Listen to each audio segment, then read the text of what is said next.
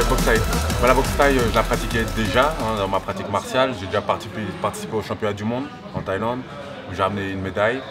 Donc c'est quelque chose que je m'entraînais déjà. Après, euh, le travail avec Crime, il a son style à lui particulier.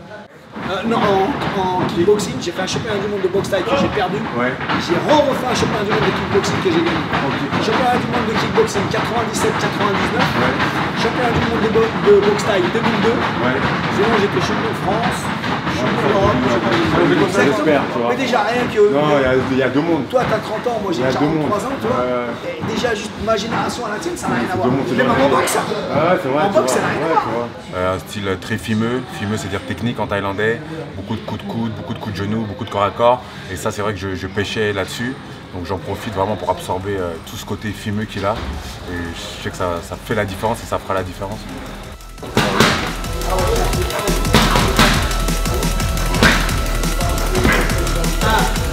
Je frappe fort des jambes, je frappe fort des poings, mais je négligeais un peu tout ce qui est couilles, genoux. Et là, on met l'accent là-dessus et, euh, euh, ça rend plus polyvalent.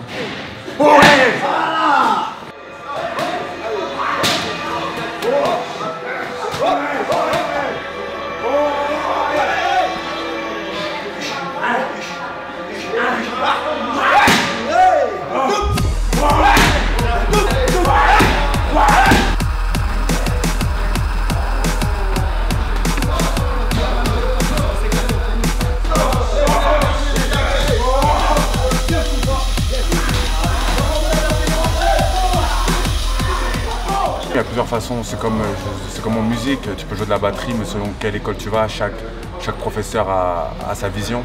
Et la vision qu'il a est vraiment intéressante pour ce que je fais moi, le MMA, dans le sens d'avoir plus d'armes, comme j'appelle, les coups des genoux, ça rend plus polyvalent, donc plus de manières de gagner.